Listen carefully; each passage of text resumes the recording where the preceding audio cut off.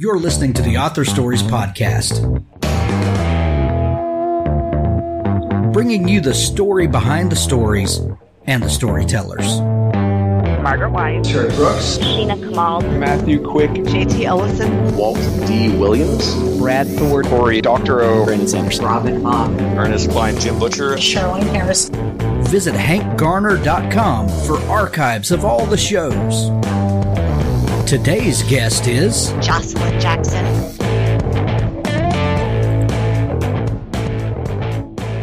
Thanks for tuning into Author Stories. We've got a great show lined up for you today. Be sure to go to hankgarner.com and subscribe to the show.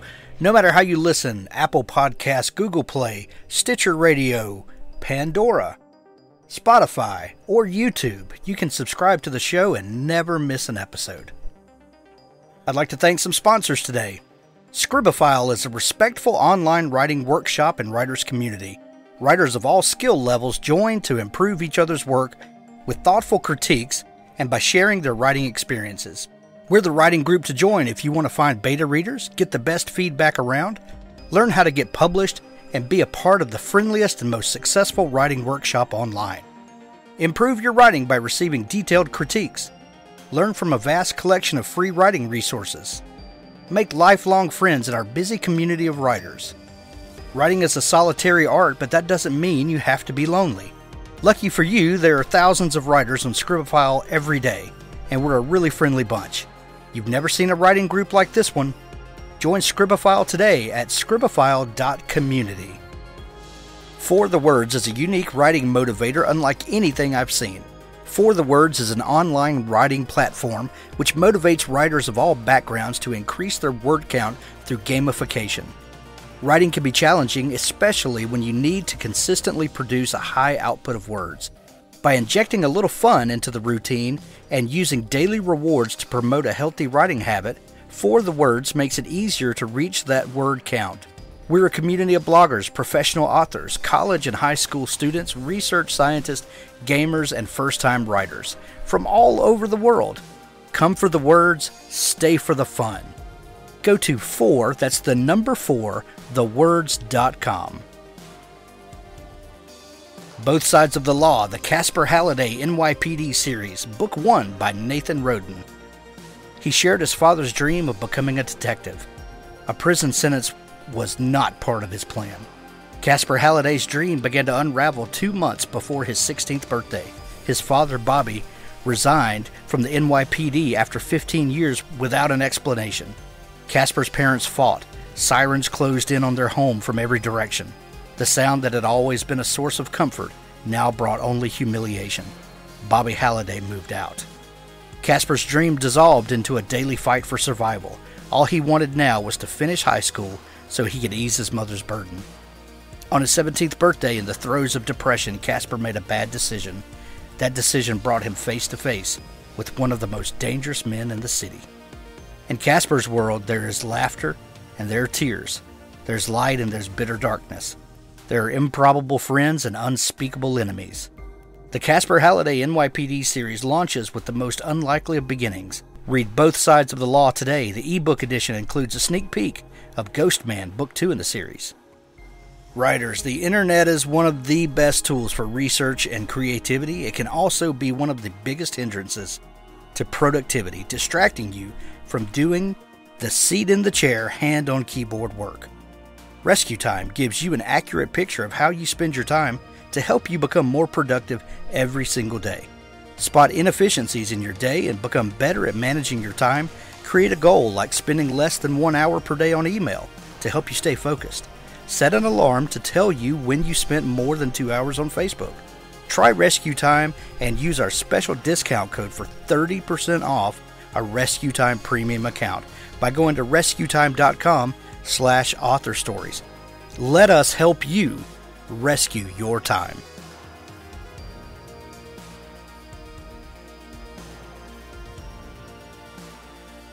Well, thanks for joining me again for the Author Stories podcast, where I bring you the story behind the stories and the storytellers.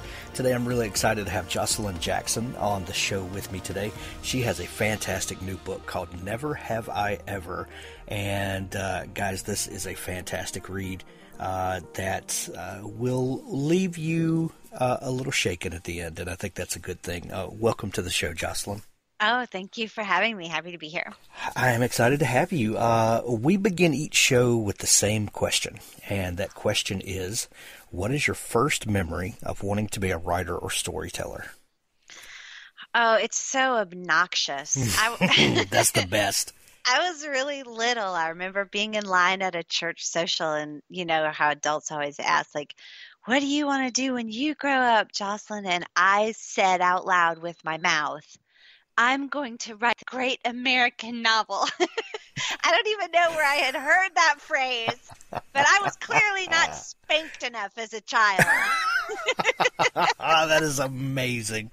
Amazing. Precocious, maybe. Pretentious, maybe, but that's okay. That's, you know, that's okay. That we are who we are. yeah. I love it. I love it. Um, were you a big reader? Oh, yeah, huge. And I was a sneaky reader. Ah, tell, yeah, I, tell me. I was a book stealer. I um I read when I was 9 years old, I read Roots, I read Jaws, I read Tender Is the Night, I read To Kill a Mockingbird, I read every Conan book. I think I was 10 when I started reading Stephen King. All these books belonged to my mom, my dad, and my brother, who was five years older, four and a half years older, and I would sneak them away and read them. now, now those influences are wide and dense. Yes. That's uh, that's amazing. Uh, Conan to Roots. I think that's why I write the way I write. I really do. Because, and I was also reading like appropriate little girl books. You know, I, I had given Charlotte's Web and The Secret Garden and all that. So I was reading that too. But yeah, I think that's why my books are so weird. well, I'm I'm glad you mentioned that because um, when I first got uh, a copy of Never Have I Ever, got an advanced reader's edition from your publisher, and you know it's blurbed by Lee Child, and you know which is amazing, and congratulations. I love Reacher books so much. I can't even. Oh, yeah, yeah. a big day. Well, you know when you, when you get a book that's blurbed by Lee Child, a lot of times, not always, but a lot of times you can say, okay, I know what bucket to put this book in. You, you know what I mean?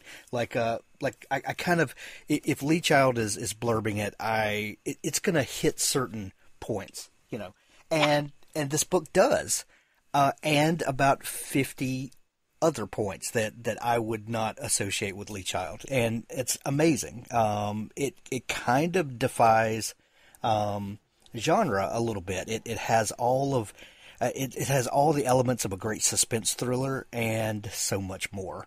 Um, when you started writing, um, did you recognize this uh, these varied influences and, and what they had done to your storytelling?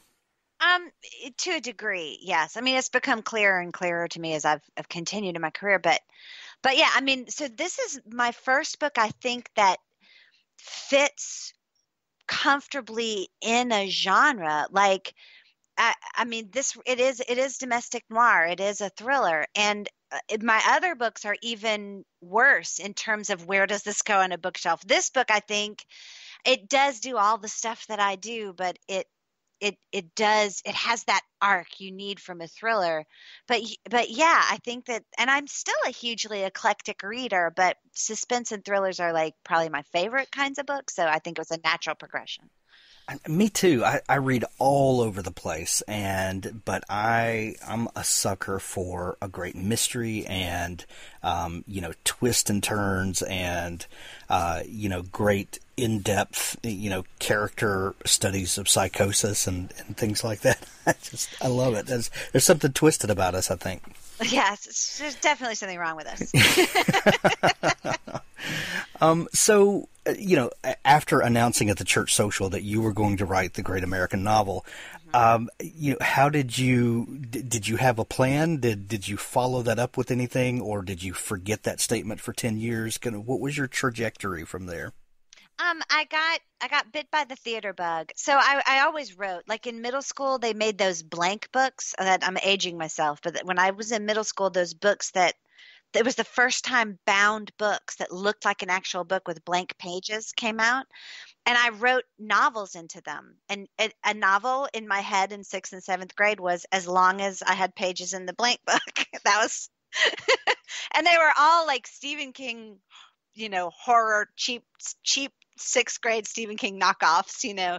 Like i remember i wrote one called um don't go into the woods in which one by one girls who strongly resembled the girls who were kind of mean to me went into the woods. Nothing good came of it. Um, so I was writing novels from middle school all the way through to high school when I, the theater bug got me, and I started writing plays. I wrote plays with my friend Yvonne Ford. I wrote plays on my own. I was in all the plays. I started as a theater major with a strong interest in acting and playwriting even uh, and eventually um, I I came back around to novel writing just because I'm not I'm very collaborative as an actor, but I'm not collaborative as a writer. I learned that about myself. And to be a good playwright, you really need to leave room for a director and room for actors. And when I'm writing, I want to I want I want to control it all. I, I, I want the world in my head to get onto the page, which is not a playwright state of mind. That's a novelist state of mind. It really is a weird thing that uh, as a playwright, you've written this thing and it it exists in your mind uh, in a very particular way, and then a director is going to take that and put his or her spin all over it. And while it's still your thing, it's going to be interpreted by the director, then it's going to be interpreted by the actors, and Right. there may be choices made that you never intended, and, and that maybe even go, you know, against the entire grain of of what your intention was. And I guess you just have to find a way to be okay with that. Uh, it's the same for a novelist, except it's just one degree of separation because what you're saying a director does is exactly what a reader does. Like a, it's a conversation, right? The book is a conversation between not me. It's a conversation between the book I wrote and the person reading it. Like I don't even get to be in that conversation, which is terrible. I feel like if you want to read my book, you should come to my house and sit down and let me give you notes. Well, no, no, it it's it's correct that it should be that way. Like it should be your own conversation. I'm being silly.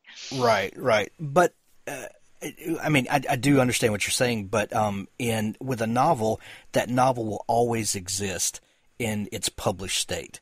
That's Um, true. Whereas a play, um, depending on where you see it, um, that's the experience you get. You don't, you know, Right. Yeah, yeah. that's definitely true. Yeah. So, um, but from from playwriting, um, did you pick up things there that have helped you as a novelist? I, I you know, when you when you're writing scripts, either for for stage or screen, um, you know, one thing that that comes across pretty quickly is that those scripts are dialogue heavy because that's that's kind of the medium that you have there. You're you're putting words in people's mouth and then some stage direction, but it's mostly you're putting words in people's mouths. Does that bleed over into your novel writing? Um, not as much as you would think. The playwriting, I, I think it gave me a, a pretty good ear for dialogue be, because as a playwright, you really concentrate on that. But the weird thing is, I learned more about how to write novels from acting than I did from playwriting. Ah. uh, I'm very, you know, even though this is a thriller and plot is super important and it's it's got to have that narrative drive that's kind of God right now.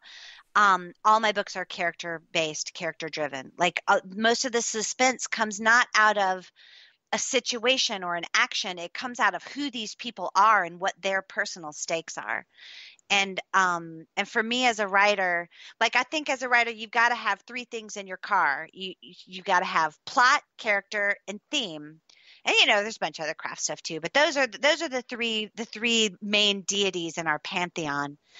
And you and somebody's got to drive that car. And in commercial fiction it's plot. And in literary fiction it's theme and i kind of ride in between those things and i let character drive my car now usually um, plot is in the passenger seat and theme is hanging over the chair in between them in my books in this book i let plot like shove over right up against the driver and like push the gas a little bit I love that. I love that imagery. Um, when you when you start thinking of a new story, um, when it's in its embryonic stage and it's becoming a thing, um, because you're very character driven. Um, your stories are. Do characters come first, or Absolutely. do you? okay, so so what is that process usually like? Is it um, do you do you envision a character that's that's in a plot situation? Is this just a character that's intriguing to you, and then you find ways to torture you know this person? how, how does that how does that usually come alive to you? Um, it's I I'm always inventing characters. I'm I'm a very uh, an easily bored person, and I have this toy in my head. You know, my brain is like a big toy. I don't like to brush my teeth. I don't like to clean the house, but you have to do these things, and I I play in my brain while I do these things. I seldom my eyes flip around the other way and I sometimes don't even remember cleaning the house. I'm so involved in whatever dumb thing I'm thinking about. And it's usually a character. I'm usually inventing a person. And some of these I invent characters every day. And some of them stick around and start coming back and start feeling important. And usually it's because they're tied to something that matters to me on a thematic level. Like they're tied to something in the, I think all the good books come from the dark and salty marshes of your mental illness, right? Right. Down under in the subconscious where I don't want to go.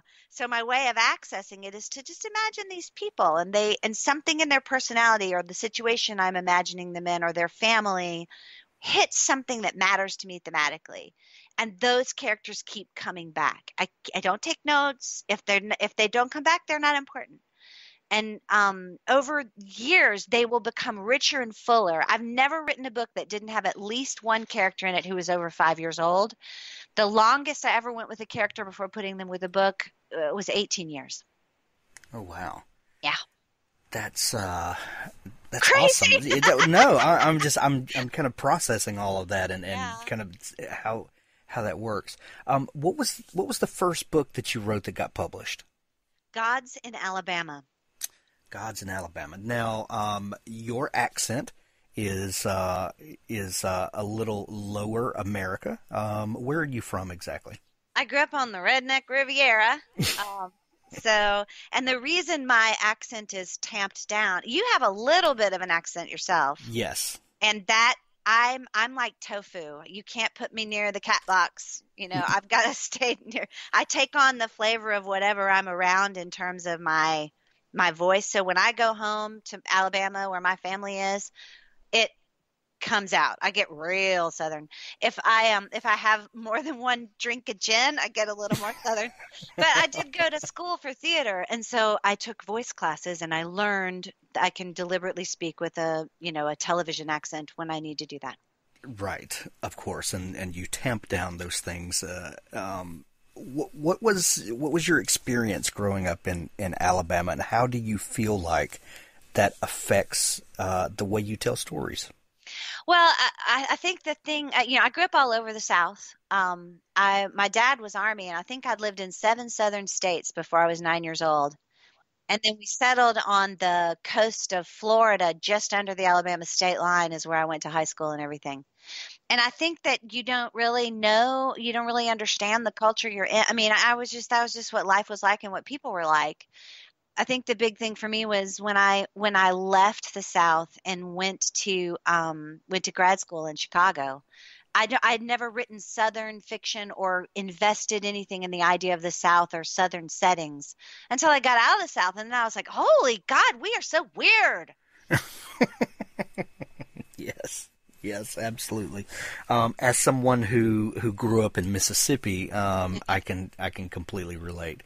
Um, th- there's something weird um, about Southern fiction um, because there's there's not really a Midwestern fiction. There's not necessarily like a New England fiction um, or you know a California fiction. It, it's it's kind of weird that this collection of states and this weird subculture gets its own um, you know kind of shelf in in the store. Um, what is it about the South that makes for compelling stories?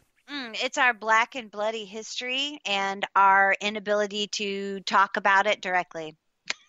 Just go ahead and put it on Front Yeah. Street then. We're yeah. we're passive aggressive, especially if you are a woman in the South. You're not raised to say anything you mean. Culturally, you're you're you're taught to just be constantly polite and please everyone.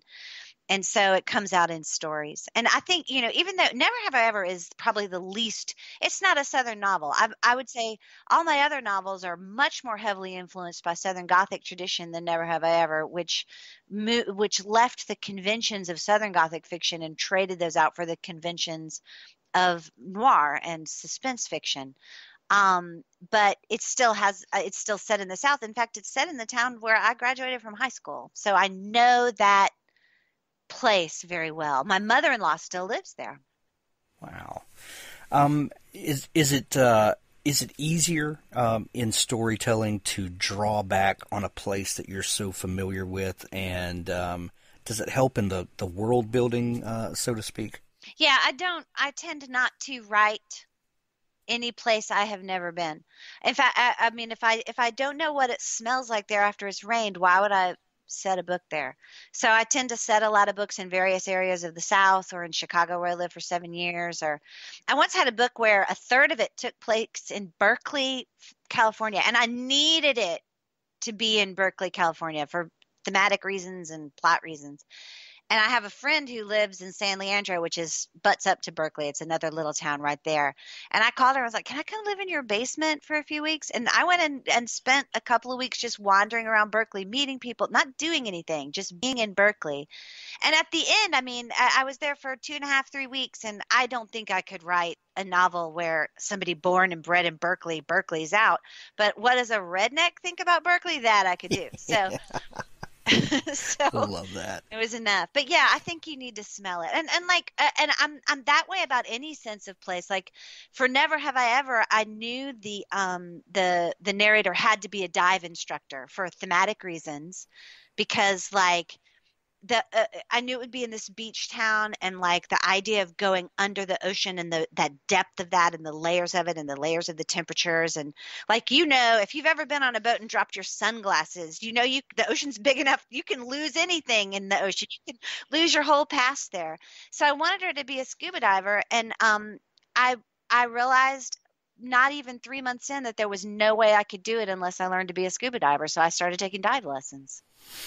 I love that. Just to um, get that sense of place. Yeah, because it's those, and it's the little details that uh, you know. You, you, may spend three months learning to scuba dive, and and there may be you know two or three sentences worth that you really glean from that. But those are the most important sentences that that without those can't can't anchor yeah. you to that thing. Well, and two, I mean, there's lots of underwater scenes. There's underwater action scenes. I'll tell you something really funny. So, I, my husband and I, he took scuba lessons with me, and we love it. We do it every chance we get now. And uh, well, I, I became like it changed the book because I thought it would be one way, and really everything Amy says about scuba diving is is how I feel about it. It is a prayer, it is a meditation, it is peace, it is also the most fun you can have in a wetsuit. Um, and so I I went and I started taking these lessons, and like we went to do our checkout dives and i'm like i'm i'm, I'm like oh i need to scout locations. There's going to be underwater action scenes. I've got to find locations. And i i said to the scuba dive instructor without thinking it i'm asking him all these questions and i'm like so if i wanted to kill someone underwater how would i do that? It was like what? Or like i'm a novelist. I'm a novelist. I promise if you tell me if you help me kill someone underwater i will never do it for real and so they I had a scuba dive instructor who helped me work out the crime scenes and how to commit crime underwater. oh, that's amazing. That's amazing. Um, going back just for a minute to your um, your acting uh, career, um, you you now are are using those skills uh, as an audiobook narrator, and you know audiobooks are I think everybody has realized is one of the biggest growth markets right now in, in publishing, and mm-hmm. people are going nuts for audiobooks. Um, as someone who's been on both sides, who writes the manuscript and then uh, reads your own books, and then have have read other people's books, um, does does knowing that this is going to be acted out in that way does that affect the writing? Yes, hugely. I would never hand a book to my editor that I hadn't read aloud. In fact, that was before I was reading audiobooks. I believe in I think every writer should read their book aloud. It will fix your di- It's even better if you don't have any acting experience and you're not good at listening to yourself in that way like an actor. If you can get somebody to read it to you or read the dialogue with you, just having somebody read one chapter to you out loud I think would change how you think about your drafting process as an audiobook reader, I can tell, I'm not going to say any names, but I can tell the people who have read their book aloud and who have not because it because like there's this weird internal rhyme thing that you don't see visually, but some like in published books written by really good authors, I hit sentences like I dread to wear red, she said to Fred, and they they just don't like like they don't they don't hear it because they're looking at the words visually. And that that is that's very difficult when you're doing audiobook reading to when you hit those internal rhymes to try and find inflection. So to keep it from becoming sing sing song. And you'd be surprised at how much internal rhyme gets into books if you don't read them out like really a lot. Yeah. and there are some sentences that just feel weird in your mouth. Um, and and you're yes. like this this is yeah I, am a big proponent of, of reading out loud as well I, I, I usually try to perform all the characters and and, and Heck yeah. you know yeah it's just it's so much fun and and you're right you will catch all kinds of things it'll uh, also help your dialogue like whoa you know yes. dialogue especially try to say it out loud to someone while looking them in the face if you can't get through the line you know it's not oh, it, it'll also catch you know too much exposition when you've got a character that in their dialogue just goes all expository. Uh, when you start reading that, you're like, "There's nobody would ever do this. This is I've got to find a better way to do this." Um, tell me about reforming arts. Oh, I love reforming arts so much. It's a, a small nonprofit that I work with, local to Georgia. Um, and what we do is we provide college level liberal arts education to people who are incarcerated in Georgia's women's prisons. I serve on the board all year and I try to teach one semester a year as a volunteer.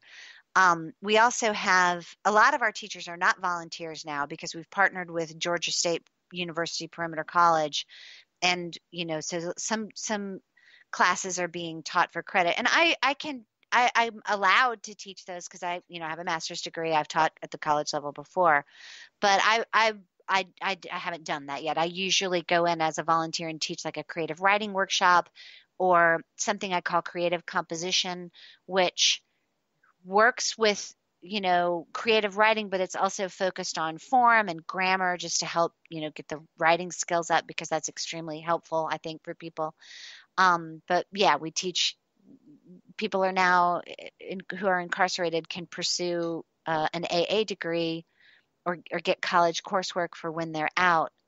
Um, because I think education provides opportunity and opportunity stops recidivism. And that's just true. Every study proves it. Yeah, for sure.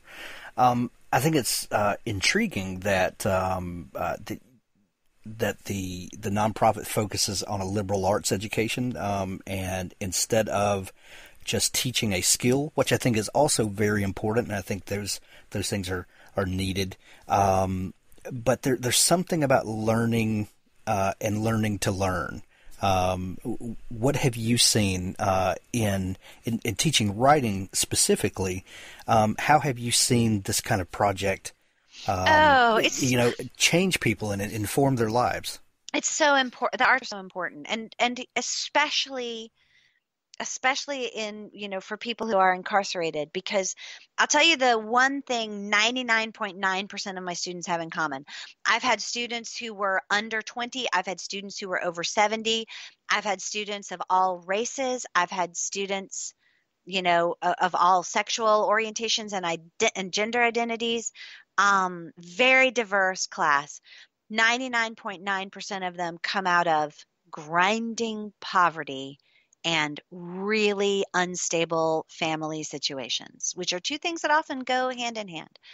They're they're coming out of of chaos and need where there's no there's no stability of or emotional support and there's no stability in terms of just like food stability what am i going to eat today and these are the people who end up getting incarcerated because they they don't get a, a lawyer or a chance. And also like they don't they present you know if you're if you're middle class you can go and you've had a good education and you have a mom and a dad who care about you you can go in and say hello i have made a terrible mistake. You know they don't have great vocabularies a lot of them. They are or they have never gotten a really strong education. And so two things that are really helpful are just like letting them have a way to access their own narrative and tell their story. Because if you are given these tools and you learn how to tell your story you can start shaping your own narrative. You can reinterpret things. You can you can understand things. You can you can put your story into a and you're reading you know important really good books so you're reading good literature and you can put that which i think reading fosters empathy and writing fosters empathy. So you're telling your story and you're reading other people's stories and you're putting your story in a context. And if you can if you can tell your narrative in a in a cogent way so that you can see the arc of it you can change your narrative. Absolutely. Absolutely. Um, let's let's talk about the new book um, for a minute, and I, we'll put. Uh, is is there a place where people can find out about reforming arts? And sure, uh, you can go to reformingarts.org and read all about us, or give us money. We would like that too. that's what we want to encourage people to do. I'll put a link to that in the show notes of this episode. We we definitely want to support uh, people that are doing that kind of work for sure. Um, the new book, Never Have I Ever. Yes. Um, tell me about this book. Um, or tell our listeners about this book. I have read the book, um, but uh, they may not have yet. Tell us where this book comes from and why is this book so different from the books you've written in the past? Oh gosh. Um so just to, you know, give you the like the the little jacket copy kind of idea of what the book is about. It's about a woman named Amy Whey. She is a scuba diving instructor. She's happily married. Uh, she and her teenage stepdaughter actually get along, and she has a an eight month old baby. Um, and she has a nice life. Like she really likes her life. She has a book club that she runs with her best friend, and, and it's a good life. And one and that is too much right going on. well, you know, I always say making like make you know make vegetable lasagna and walk the dog that's a great life it's a terrible book but it's a really good life so she has the kind of life that would not normally make a good book but it opens uh, at book club. She's at book club with her friend, and a new woman shows up, Angelica Roux. And Angelica is not like the women at this seaside university town. She, like, uh, Amy says, it's like she seems like somebody who would know how to make pate from scratch, or somebody who's had sex in a moving vehicle, maybe on the way here. You know, she's exotic and and she gets everybody she she derails the book conversation gets everybody drunk gets everybody playing a game of never have i ever which is a drinking game that makes you reveal things you might not want to reveal about yourself. And very quickly it becomes apparent to amy that this is not random. The game is aimed at her. She knows that this person Amy has created and this life Amy has created is a construct. Amy was a very different person 15 years ago, and Roux knows. And in order to protect that life, like like Roux has an agenda, and if Amy doesn't do what Roux wants, Roux's going to expose her. And it, it should be like normally this is called a cat and mouse game, kind of a book, but Roux has made a grave error, and it's this: Amy's a cat. Amy's another cat. so it's a cat, and Amy steps up, and I, I think Amy steps up, and she's like, "I'm going to play this. I'm going to, you know," and it's not a game she can afford to lose. If she loses, she loses everything. And the same is true for Roux. Like it becomes, Amy gets into Roux's head, and it gets very high stakes. It's sort of like. um like it's if you like killing eve you'll probably like this book it's it's about two women who have made very different choices, but if they were to like take a Myers Briggs test or an Enneagram, they're very similar people. Like they'd both be Slytherin, right? Um, so they're they're pretty evenly matched. Roux has a lot more practice, but Amy is fighting for you know a lot of things that she cares about. So so she's more desperate. So Roux has more practice. She's more desperate. And and i think that was like and especially since like her stepdaughter's kind of getting involved with Roux's teenage son like there's a there like the stakes keep raising in these ways. And i think that uh, that's probably how it's different from killing eve is that i did want to look at that classic story of when you look into the abyss the abyss looks back and how do you how do you fight evil without becoming evil? Like that's a story that's usually told with male protagonists. I've seen it a million times with men. I wanted to see how if it would be different if it was women which i think killing eve answers that pretty definitively. But i also wanted to see how it would be different if it was mothers. And i, I think the most dangerous animal is a mother anything. Oh, absolutely, So- absolutely. so that's uh, that's what the book's about So, um, you you mentioned early on um, that uh, three the three elements that you always hold close, or uh, we're riding in the car with, are character, plot, and theme. Uh, theme is not something we talk a lot about in this type of book, and you know when we're talking suspense and and mystery.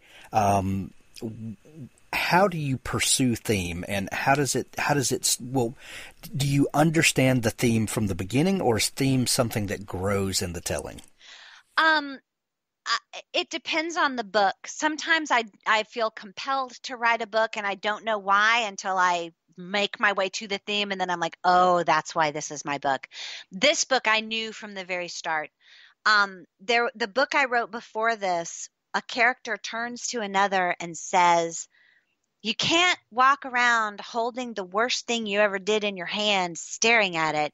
You got to make supper and plant zinnias. You know, you can't you can't do that and when i wrote that line i thought oh that's my next book i didn't i didn't actually know it would be a thriller i just knew that line was my next book and and for me the idea of I, I mean i've long called myself a redemption obsessed novelist. I'm always interested in like how far can you walk into the black before you fall off the world and you're lost? And what are the little tiny lights that call you home? And why do some people with ropes around them and lights all over walk off the world? And why do some people you know see some tiny pinpoint behind them and turn back from the edge and make their way back to community and hope and grace? This is and and that and my goal for this book like really seriously is you know what? If you want to make a gin and tonic and go to the beach and read a twisty thriller it's here for you. Have fun. But if you want if you want to think about what grace looks like, if you want to think about these things, it's there for you. It's just an underlayer that I didn't want it to interfere with story, but I don't think I would have been interested in writing the story if that theme wasn't leaning over the front seat yakking. right right well what's what's really interesting and, and now that i start thinking of uh, of theme and and your love for redemption stories which i also um, absolutely love uh, is that in the beginning, Amy thinks that she's living her redemption story. Yes. Um, already, you know, she feels like that she, you know, there, there are things in her past, and that's, you know, kind of the catalyst for what gets the story going. Uh, and we all have secrets that we would rather not come out, and we all have progressed and evolved as human beings and would never want to be held responsible for the person we were 15 years ago or, or whatever. I think we, we all kind of live in that way. Um, and, and in a way, Amy feels like that she's, she's become the person she wanted to be. That is her redemption story in her mind until she realizes that, uh, that it's not, that there's still a journey to be taken. Um, that's so much fun. How, how did that that idea of of someone that that is already um, you know living uh, living out who she wanted to be, getting away from the past, then gets confronted with that. How how does that start taking shape for you? Um, two two things. One, I'll just say very briefly. I am a person who has reinvented myself more than once. I honestly, I have a great life. I make vegetable lasagna. I walk the dog. Um, I I really like my husband. I have great kids. We live someplace that I I enjoy my community and my neighbors and my church. Um, but my life wasn't always like that, and I I can't believe I'm alive. When I was a young woman, 19, 20, 21, all the people I was closest to at that point, most of them disappeared, went to prison, some are dead. So one died in a gun battle with police, one overdosed. I, I could have, uh, you know, I, there was a tiny light that called me back. Um, so it's personal. Uh, on a on another level, it's Reforming Arts. I, I remember I have a student who I care very much about. She's been I've known her for years. She has been in prison for more than 30 years. She's finally up for parole, and in the next few years, she might be getting out. And she is an amazing human being. She, this 30 something years ago, she did something and she went to prison for it for a very long time. And now she writes, illustrates, and distributes these sort of how to navigate prison and make good choices, like comic strips to other people that are incarcerated. She is um, in Life University, and she has a 4.0, and I think she's. I, I haven't. I haven't been. To, I, if if everything stayed on track, she should be graduated by now. I haven't seen her since the last semester that I taught, and I'm not because I work with Reforming Arts, I'm not allowed to have contact with people except under that umbrella. Like there's the, the prison has rules, so I won't know until I go next time and catch up with her. But um, she was on track to graduate with a 4.0. She is a role model, and I remember her saying to me, she's like you know i'm up for parole now and i think they'll they'll let me out. Like she's been a model prisoner and she's done a lot of really good stuff community wise and she's like here's my fear. I'm I'm always going to be, you know, a felon. I'm I, my worry is I'll go back out into the world and everybody will see me as nothing but the worst thing I ever did in my whole life that I did 35 years ago. That that's all I am is that action and that I'll go to an employer or try to get an apartment and they won't talk to me or see me. It'll just be this one thing and I'm not even that person anymore. And and so like I thought about like I wanted to start at a place where Amy's not that person and she's not. She's not that person anymore.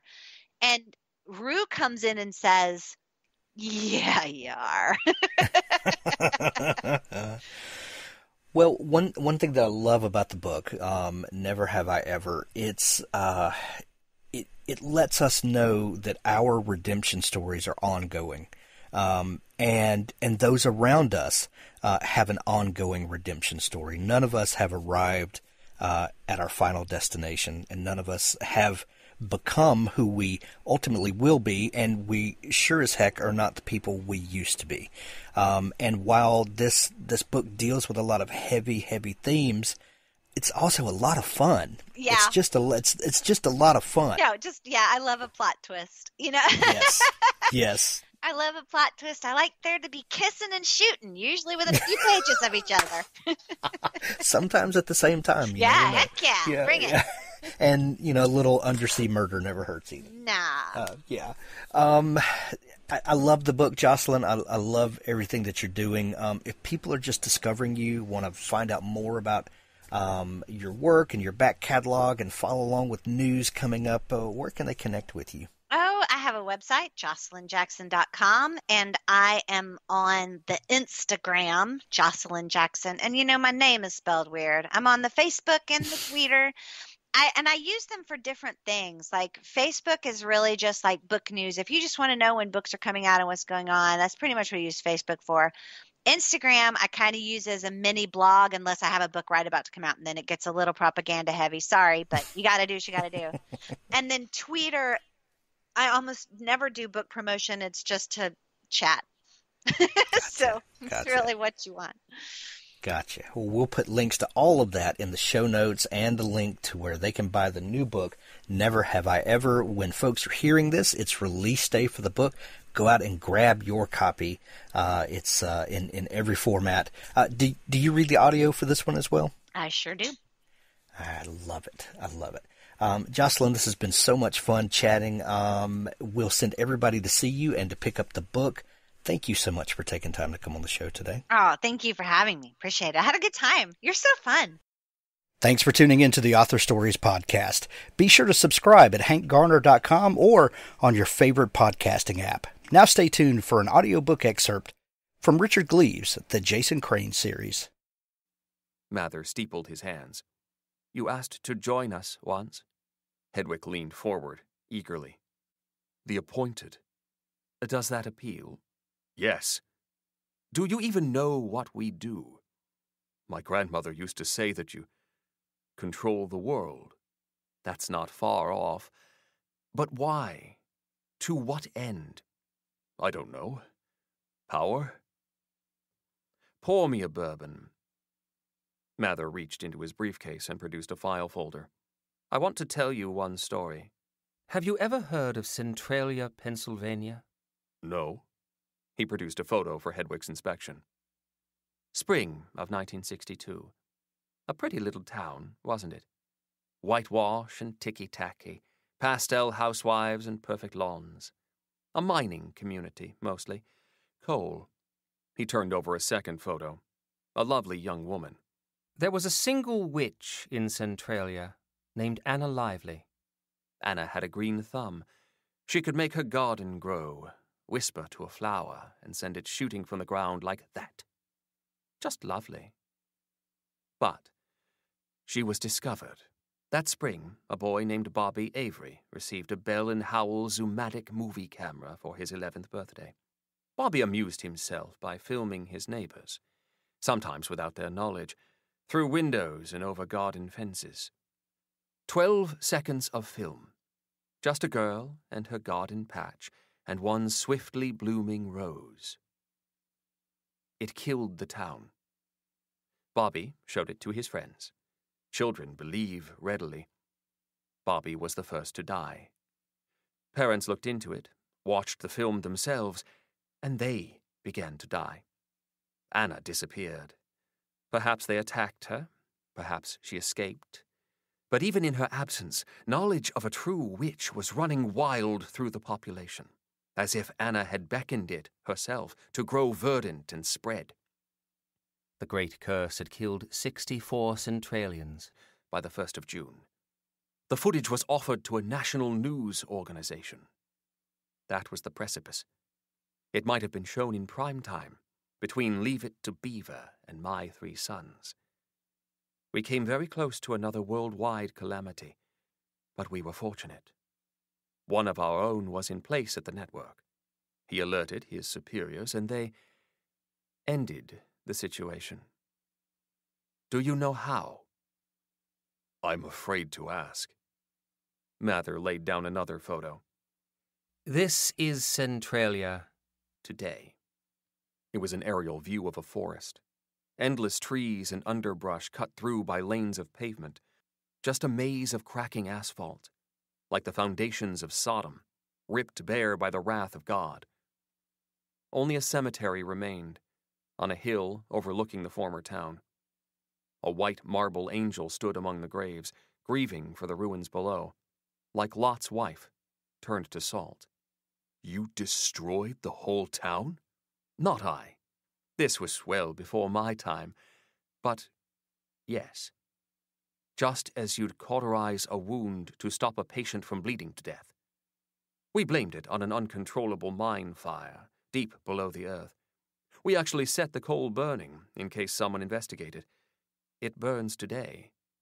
Touch any of those streets and you'll find them hot, the asphalt melting as if the town sat just above perdition. It's not something we're proud of, but it was necessary to save the world.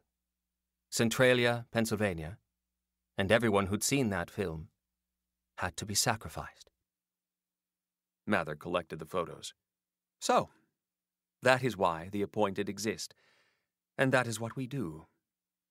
Still want to join?